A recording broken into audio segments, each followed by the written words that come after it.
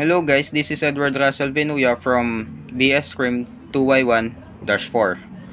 So, so today, i-discuss po natin kung ano po ang nakapaloob sa darkroom.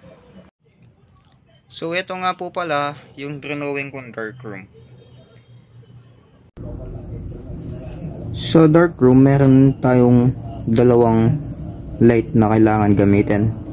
Ito yung light light ay white light for use it for negative selection, mixing chemicals, cleaning up, inspecting finished prints.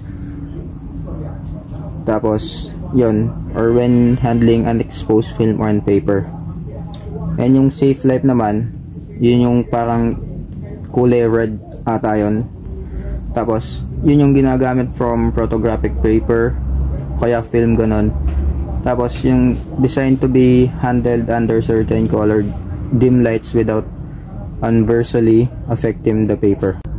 Dito sa darkroom makikita natin yung mga equipment used for photographic or printing ganon like like makikita mo dito yung mga clips for dyeing paper cutter timer tapos mga beakers ganon or mga e equipment na gagamitin natin for film.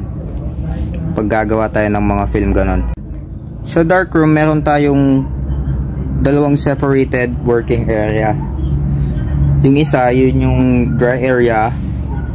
Yung, mala yung malapit sa kahit malapit kayo sa electricity. Tapos yung malapit kayo dun sa ano para yung mga equipment dun na lang sinasaksak. Yun lang guys. Thank you. Sana may natutunan kayo.